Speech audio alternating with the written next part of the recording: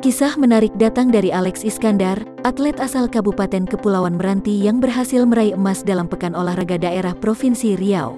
Alex merupakan seorang tunagrahita yang meraih medali emas dalam cabang atletik 100 meter.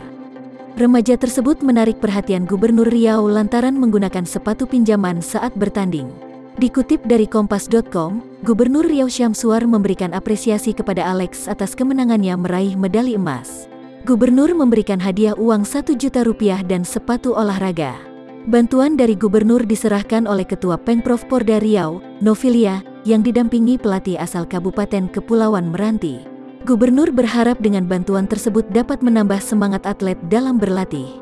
Diketahui Alex adalah atlet atletik tunagrahita yang berlaga dalam Porda Special Olympics Indonesia, Soina 2021 di Pekanbaru. Ia mendapatkan perhatian publik karena menggunakan sepatu pinjaman yang dicari oleh pendampingnya. Hal itu karena Alex tidak memiliki sepatu seperti atlet dari daerah lain. Selain Alex, hal yang sama juga dialami Astri. Atlet futsal putri ini juga memakai sepatu pinjaman dan akhirnya meraih medali perak. Kedua atlet tersebut memang berasal dari keluarga tak mampu.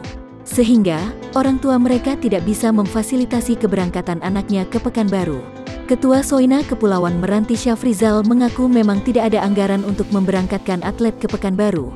Untuk keberangkatan ke Pekanbaru, ada bantuan dari Kadispora Kepulauan berupa uang pribadi 1 juta rupiah. Syafrizal sendiri bahkan juga memberi uang 200 ribu rupiah untuk ongkos.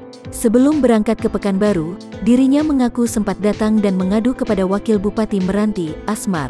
Namun, saat pengajuan proposal justru tidak direspon dengan baik. Beruntung kini, atlet Kepulauan Meranti berhasil menorehkan prestasi. Pihaknya berharap pemerintah bisa lebih peka dan peduli terhadap para atlet.